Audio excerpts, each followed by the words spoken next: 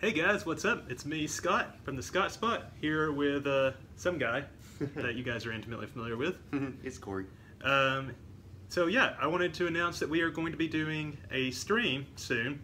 Uh, we're going to be streaming uh, Final Fantasy 15 again, but this time we'll be doing the uh, the DLC episode, episode Gladiolus, because it comes out tomorrow, and I figured that would be a pretty good stream. And uh, if we have time, depending on how long the episode is, we might show off the new version of Chapter 13 for those who know what I'm talking about. Um, when is it, honey? We're going to be streaming this Saturday, April 1st, and it is not an April Fool's joke. Promise. and it's going to be at 7.30 p.m. Eastern Time. So cheers to seeing you guys Saturday. Cheers, guys.